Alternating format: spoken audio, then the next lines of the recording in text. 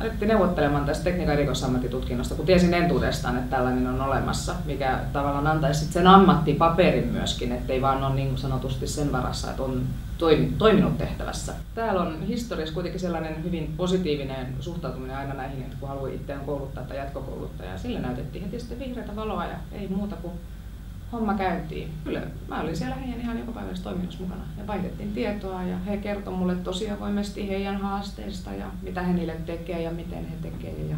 Sieltä ensinnäkin tota, Sanna lähetti valokuvia heidän hitsauskoulustaan. Sitten, mm. Siitä päästiin heti vertailemaan vähän meidän fasiliteettia keskenään.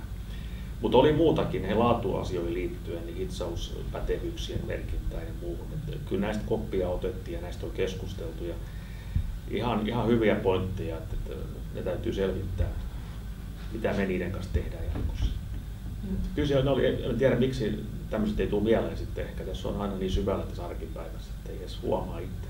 Miten voisi tehdä toisin jotakin ihan järkevästi. Että ne on kaikki niitä helmiä sitten, kun mennään toiseen taloon tutustumaan ja sieltä niitä sitten näkee. Mehän nähdään nyt tällä hetkelläkin, miten Suomessa asiat on ja, ja mikä, missä nyt maa makaa. Kyllähän meillä on vienti se ihan yksinkertaisesti viennistähän me sitten eletään viime kädessä.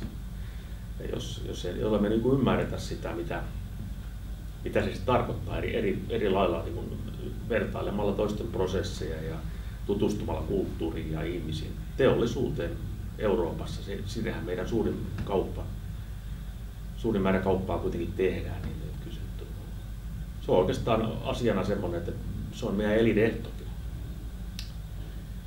siihen on varmasti syytä panostaa, jos siinä on mahdollisuus. Hyvä, tuohon paljon lisättävää on, että kyllä ihan samoilla linjoilla, jos ajatellaan pelkästään laajemminkin yrityksiä, niiden toimintaa, yhteistyökumppaneiden hakuu, verkostointia, verkostoitumista. On paljon asioita, mehän hankinnoissa ja, ja suunnittelutyössä, niin niissähän tehdään yhteistyötä tänä päivänä aika maailmanlaajuisesti. Vähän, vähän joka alalla kyllä ne, ne täytyy lähteä pois, että me emme keskenään ihan täällä kauppaa käymällä, se emme kyllä pärjätä. No, nyt puhuttiin vientiteollisuudessa olevista työpaikoista, mutta vaikka toimisi kotimarkkinoilla, mm. niin kyllä se vaan on, on järkevää mennä katsomaan, miten, miten muualla asiat hoidetaan ja sieltä varmasti saa myös kotimaan markkinoilla toimijoita.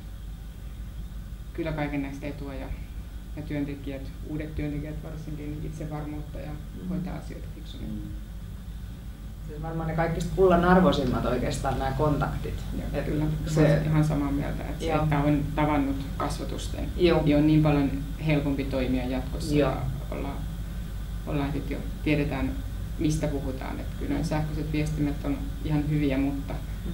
sieltä jää kuitenkin se, se jokin puuttumaan. Ja todettiin heidän kanssaan keskustelussa, että tämä on tosi hyvä, että pitäisi tehdä paljon enemmän, jopa, niin kuin jopa ehkä eri tavallakin kuin pelkästään opiskelijavaihdosta puhuminen, vaan muutenkin, koska nyt kun ollaan tiivis, tiiviissä perheessä, niin tota, siinä nähdään ainoastaan vaan niin kuin win-win situation, että päästäisiin syvemmin toistemme tekemisiin kiinni ja oppimaan.